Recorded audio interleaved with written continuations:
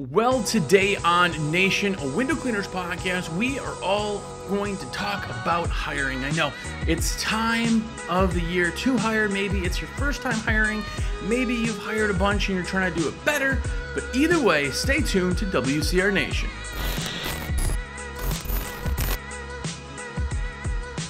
What's up, everybody? Jersey here from windowcleaner.com, and you are here. What is up?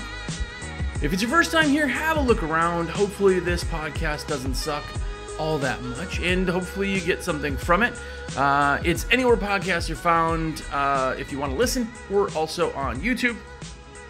Few quick shout outs to some of the awesome people who use me as their rep. Aaron Harstead, what's up? Cheryl Nealand, what's going on? Uh, and Brett Bailey, of course. Uh, you guys are awesome. Just a couple of the people who uh, genuinely are amazing. So just wanted to give you guys quick shout outs. But we are talking all about hiring. Now, maybe you've hired before. Maybe you've never hired. Maybe you don't know if it's time to hire. Maybe you've hired and you're like, this hiring thing sucks. I want to do it better. There's lots of things about hiring that kind of suck and lots of things that could be improved on. And hiring is just that hiring is always going to be a bit of a chore.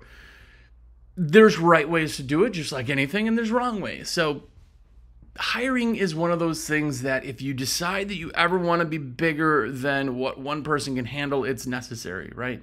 You can't have a million dollar business with one person. It's just, we trade time for money, and there's just not enough time, or we can't charge enough money to get there. So, if you want to get there, hiring is a necessary evil. Um, I like hiring. I, I don't mind the process, but it is just that it's a process, right? And uh, if you guys have seen any of the podcasts that I've done, you know I'm an ABH fan, always be hiring. If you're in a service business, I just feel like you have to have that rotation because there's, you know, people coming in, there's people going out, there's people leaving, and you don't get back a day that you can't work. So if everybody left you right now, you're not going to work today if you're not going to work today, you lose the money to kind of be able to get that day back. You'll never get it back. So hiring is something you have to do and do regularly. But there's a few ways that you can hire that make it a lot easier. Now, I'm going to start off by just if you've already hired before and you're not wondering about this, I'm going to talk about when it's time to hire, like what kind of triggers that. This will also touch on you because you may be needing to hire another person. You're trying to figure out if it's like time to hire another person or what. And I'll tell you right away, it's all about efficiencies. If you are absolutely as efficient as possible and you still have more work, then it's time to hire. If you are as efficient as possible and you still have more ambition to get more or be bigger, it's time to hire. And I'll tell you, efficiencies is not an efficiencies podcast. I talk about it a lot. But if you're working and all of a sudden you get into water fed, all of a sudden you you know uh, tighten up your schedule on where they're driving. Now you can get more work done with this. You want to make sure that your crew that you have, be it just one person or just you in general, it is as tight as possible before you hire, because a lot of you unfortunately, you're not efficient, but you just keep hiring because you're like, well, we can't get any more. We, we got more stuff. We got, but you're like losing that track of okay, well, let's get what we have efficient and make it okay. With that being said, if you are working and you got your again, we're in winter, but if you're there at about that 40 hour week and you still just have tons of work or you're booked out six weeks or whatever, and it's just solid it's time to hire, right? Shrinking that number down of how far out you are is going to be better because then you can pack things in. You can get people done in a more uh, convenient for them timing. When you're getting into winter, not coming out of winter, it's nice to have those pushed out because then you can fill in some of the slower times. But once you hire, it's your job to get work for those people to be hired. Now, if it's your first time ever hiring somebody and it's just you right now, you're doing 40 hours a week, you hire somebody, they got 40 hours, awesome. But now your job, what is it? If you're not cleaning, it's to sell the work, it's to do all the other pieces, right? It's the website, the SEO, the, all that stuff. Put it all together, all the marketing and advertising to get more work so you can hire more people. As soon as you get off the truck, all of a sudden everything changes to now your job description is getting the work for everybody else, right? If you already have crews and you're adding on, now you're adding, say you have, you know, 100 hours a week. We'll say 80, then it's easier for the 40 hours. I'm not good at the maths. Say you got 80 hours of work. And if you have two people, they each do 40 hours. Great. If you hire somebody else on, now everybody has to drop hours to split hours. You have to build that back up right away, or you got a lot of people hired for something that two people could do. So it all comes back to you and what you do. Now, this isn't just you having to go out and talk to one person to get one job. Like I'm talking, this is now your job to market, right? It's your job to orchestrate everything. It's your job to marketing calendar and get that ads done and put something out there every single day to get the phone ringing and keep the phone ringing but it's your job to bring in the work. Now, your job is to feed hours to the people who are doing the work. And that does not change as soon as you hire. You could have 100 employees or you could have one employee. Your job as the business owner is to create a business that can feed hours to the employees. So keep that in mind as you start hiring, that is now a change. It's your job. When it's time to hire, it makes sense. And I'll tell you right now, one of the big holdups that people have in hiring, which is like the second hardest thing people do from going from like having a job to being an entrepreneur, that's the hardest jump usually. Second hardest is hiring. People go, well, if I pay this person $40,000 a year, whatever that number is, if I pay them that, man, I, I know what I'm making right now, 40,000. Like, I don't know I have an extra 40,000. Okay, so what you're doing is you're making the math sound scary because you're doing the math wrong. What you're doing is taking somebody's 12 months and putting it into today. With that, you have to look at it and go, okay, 12 months from now, where's the business going to be? If you're hiring somebody, it better be bigger than it is now. You have to go sell this stuff. That, that's what you have to do. If your business from now till 12 months from now is the exact same size and you hired somebody, you, you didn't need to hire somebody. Right? Then why would you free yourself up if you're not going to go do other things to get the business bigger, right? So when you look at that, you're looking at how much can I pay them now, but really it's how much can I pay them in 12 months. So don't let that be a holdup where people are like, well, I don't know that I got, you know, an extra 40 grand to pay. Like that's that's really gonna tap me out. Right now, yeah. Yeah. But in 12 months, 40 grand is that could be one big account. That could be a few little accounts. That that will be the growth. They'll pay for themselves, right? The thing with an employee is that in any business, an employee will make a part of the amount of money made.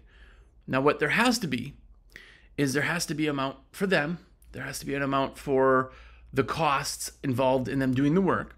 There has to be an amount for marketing, which is to get more work, and there has to be an amount to pay overhead, including others' payroll.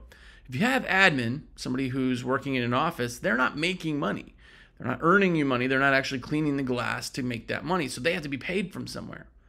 That's why when people kind of look at this and go, well, you know, all these other guys are out there charging way less than me, and I gotta, you have to charge what you have to charge to have a real business. There's a difference, right?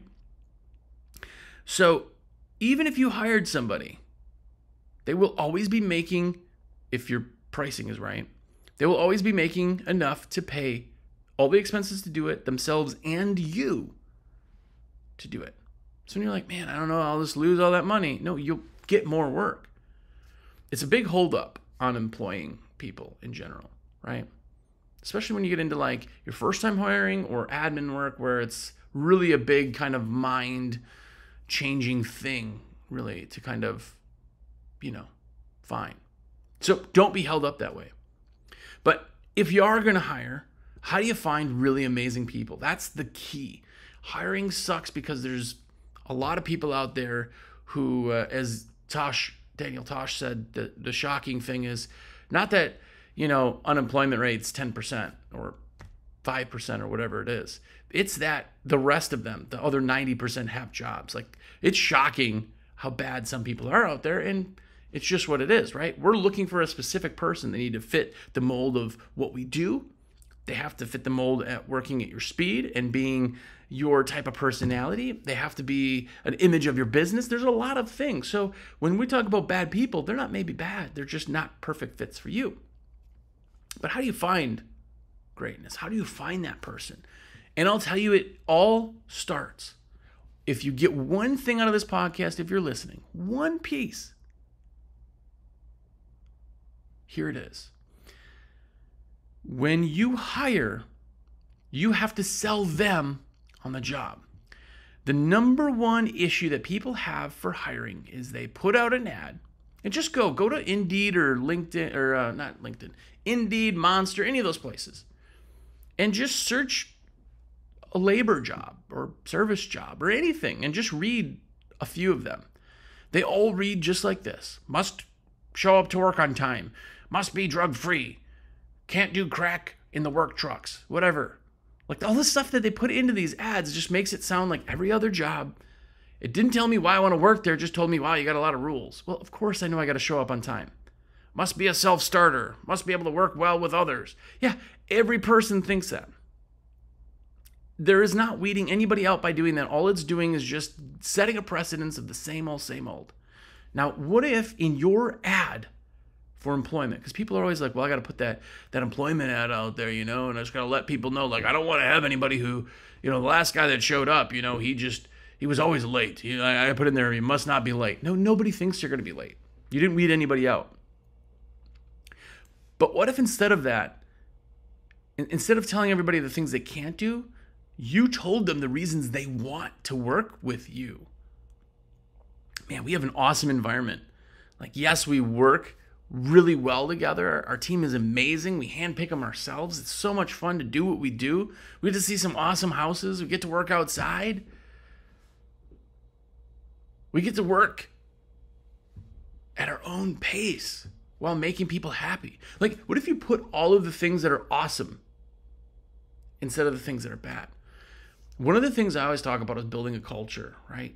I always had a fridge stocked with Gatorade, waters, whatever the people liked. Um, I even had beer in the fridge for after work. Uh, we had ping pong tables and tournaments, and uh, we threw parties and all that stuff. I wanted my environment to not be as much like work. I didn't want people to show up and be like, uh, "This is uh, my job. Uh, I hate my job. We should talk about how much I hate my job." No one wants that. And I'll tell you, if you're not happy at a job, you're not going to be performing in general. You're just going to be thinking about how unhappy you are. So if I can create something that allows people to be happy and have an awesome work environment, but I can convey that, now all of a sudden I'm getting a hundred applications and I'm getting work and applications and people applying that aren't, they're way overqualified. They are awesome. And I get to now make the decision because everybody wants to work. I had ads when I put them out there.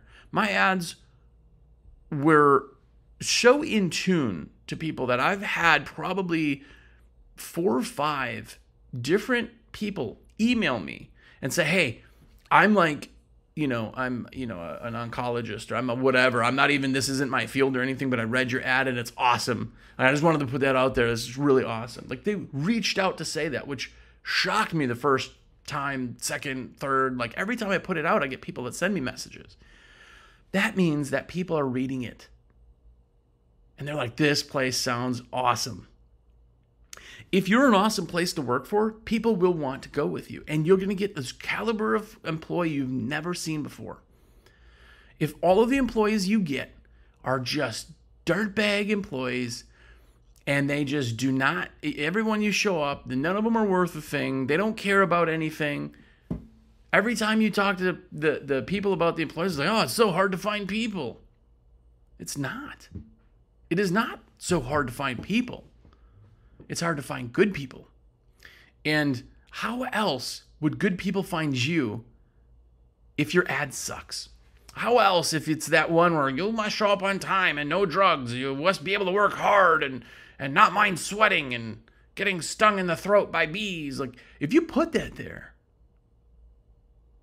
you have to have a really just dirtbag person be like, ugh, well, it's work, let's do it. I got no other qualification. Like you are selling this job. And if you're selling it to the wrong person, you're getting the wrong person. Hiring is hard. I'll give you that.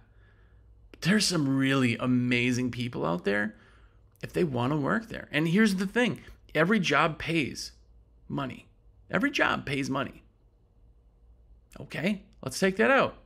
Now, if every job pays money, and just say every job was the same in the pay, or at least close, why do I want to work at one place versus the other? Why do you think Google, back in the day, would put, you know, pool tables and ping pong tables and air hockey and video games and napping chambers and and segways and and why were their campuses always just look like just huge giant fun time things? It's because they knew. Yeah, money is money. You can get money anywhere. We pay well, sure. But we want to find a specific somebody. Now they have people who it was a thing. People would, oh my gosh, I'm trying with Google. Oh, it's they were so excited to work there that the best, brightest, awesomest people went there. That was how they grew.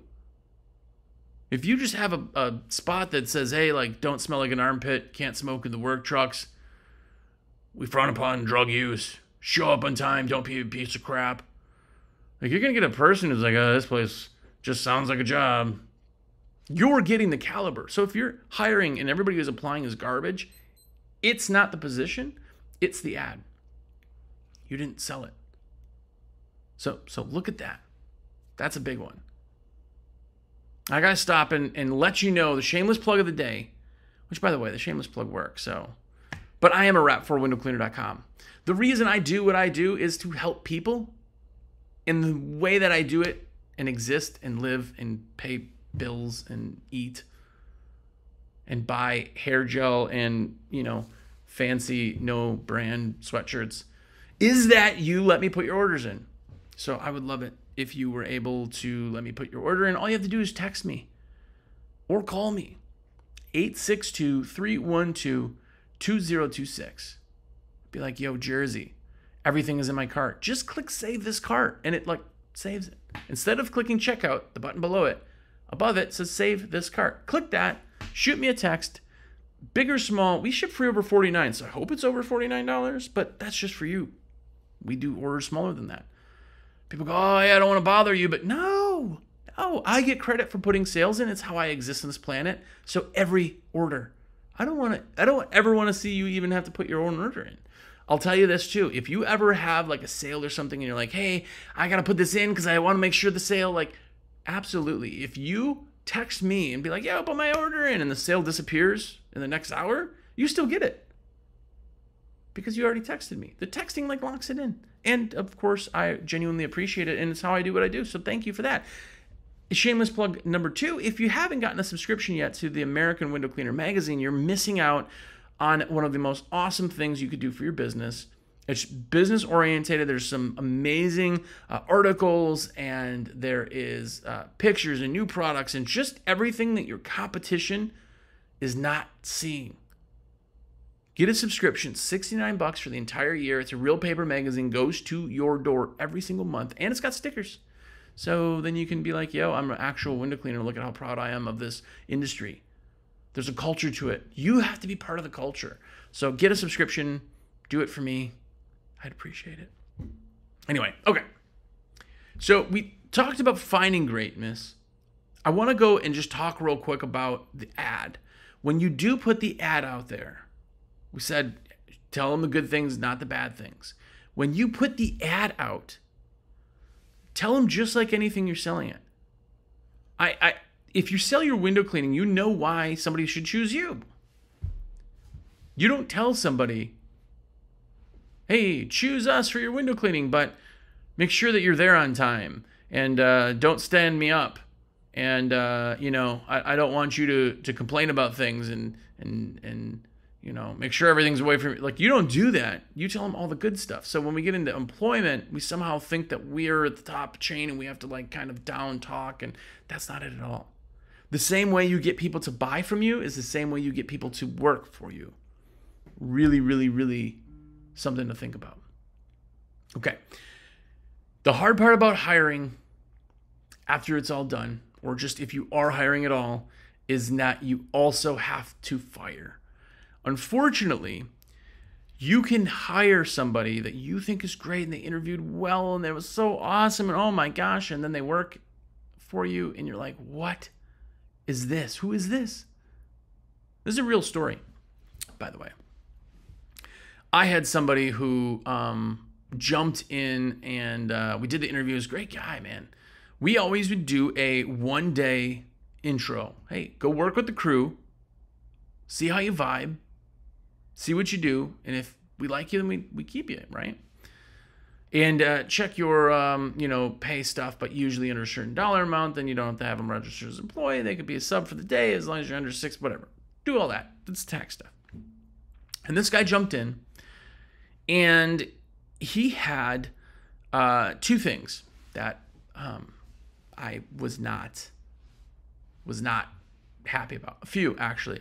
But he jumps in gets in the back seat and hands each of the guys as they start pulling out in the work truck pamphlets full like you know full pamphlets about uh, legalizing marijuana and something else. That was the first thing he did within the first two minutes of being in the work truck. Now, if you do partake in the devil's lettuce, that's cool. Like I don't care. I don't even care that my employees do it as long as it doesn't come to my work. I don't care what you do on your own. Like I don't own you forever.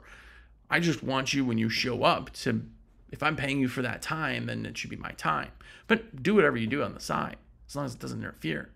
What I do have a problem with is that you feel like on your own personal level that that is such a thing you came prepared with literature and you thought that instead of everything the first thing you do is start talking about that which is just super weird for everybody and the entire drive is what you're talking about trying to sell them about the uh, legalities and uh, the employment or the uh, governmental things super weird okay well maybe he's quirky then he puts on rubber gloves and says that his hands are, you know, uh, he can't get his hands wet.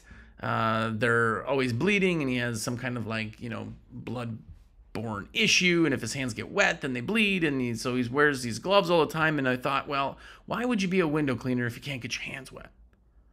All right, well, there's another one. First job is he goes set up a ladder and uh, sets the ladder up and he steps back and guy goes, okay, well, just want you to kind of go up there and get a feel for it and whatever. He goes, no, no, I, I don't, I don't, I don't go on ladders.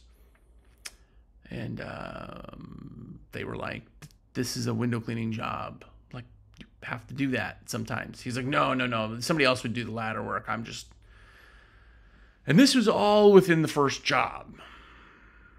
The guy interviewed great but it was not good for the job. He probably was a great guy, but he did not show anything to me about that this is going to work, that you're going to fit in with anything, and you're just all instantly all of a sudden, you can't do any of the stuff you're supposed to do. So that was it for him. Now, having this, you have to let the guys go. It's called slow to hire, quick to fire. You have to be slow to hire the people, make sure that they're as good and right as you can, but you have to understand the fact that if somebody does not a fit with this with the with the crew, if they do not vibe, if they don't put out the same feeling that you do, they don't fit in. If they don't fit in, this isn't middle school. Don't go, well, we like everybody. No, this is a business and it's my baby. If you don't fit in, this just isn't something for you, I will let you go because I have to find somebody else. This is sad part is that a lot of people they have employees and they go, ah, that guy's not great, but what are you gonna do? You know, it's like I need him. Really, if you need him that bad, then you need to hire today. Start hiring. Hire their replacement and swap them out. Like if somebody's got you by the short hairs that bad, then it doesn't matter what they do and you've lost control of your company. You're now, and I always say this dumb analogy, it could be the biggest dog or a tiger. Mike Tyson had a tiger. If you have a tiger on a thick enough chain, you can control it. You can walk him. The biggest dog you want, the biggest horse. It could be a Clydesdale. The thing is giant. A human can walk it.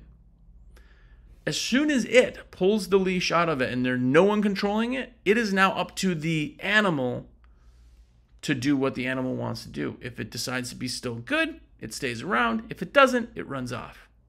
If it decides to maul you, that's what animals do. You have to have control of your business. Otherwise, your business controls you. If it's just doing its thing and you got employees who just, ah, what am I going to do? You are not controlling your business.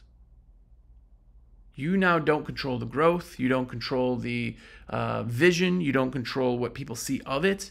You don't control the experience. You don't control anything if you lose that. You have to be in control. This is your business, it's your vision. If you live or die, it's up to you. If you let somebody take that from you, you've lost all control of it. And now you're just, all right, well, I'm along for the ride. Hopefully, this thing doesn't burn to the ground. So you have to understand that hiring comes with firing.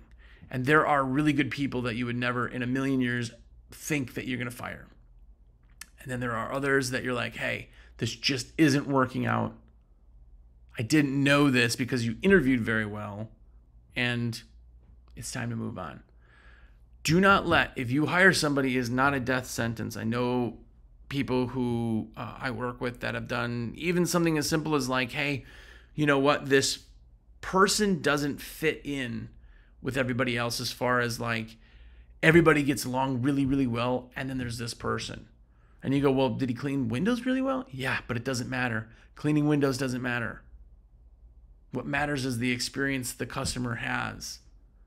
How does the company feel? How does everybody else work? If you have one bad employee, they said that the fastest way to lose a good employee is to tolerate a bad one. Everybody's been there. Like, I don't know why this person's still around. I got to work twice as hard because of the. Now you resent the company because of this person. You have to understand, you have to let people go if they're not working out. And that's why the always be hiring ABH thing really comes in. Always have people in that pipeline. But the timeline for hiring is now. It is February when I'm recording this, but you have to have somebody hired before it becomes busy. Here's a catch 22. People go, "Well, I really want to hire somebody, you know, when spring comes." Okay, but then you're taking somebody who doesn't know what they're doing and putting them in when you're panicking getting everything done. Don't you want somebody to know what they're doing before that so they can actually help you? Well, yeah, but I don't have the money to pay them now. Right, but you do, obviously. Right, you have to hire soon enough that they can train. Hiring is expensive. It takes a lot to train somebody. People go, no, no, it's just you get them in, whatever. No, no, no. Until they're making that profit margin, it takes weeks. So the timeline could be upwards of four weeks to even get somebody up and running. Well, it's mid February. Now, this, if I hired today or started the process today, it's mid March, end of March before things are, are running. People misunderstand the timing that it takes in hiring. If I decide right now I want to do this, I have to create my ad. Create my ad, have others look over it, adjust my ad, create it. That's taken a day or two. Perfect. Okay, now I put it on there. Now it soaks. People call, come in. Um, I do my phone interview, but I have to get those applications as they come in. I'm going to have it sit there for a week, maybe two, see what we can get. I'm doing those phone interviews. Now I'm setting up real interviews for the following week. Now I'm three weeks out. I did two weeks of sitting with phone interviews, and now my real interviews are starting on week three. Even if I hire in week three, I got my trial period going.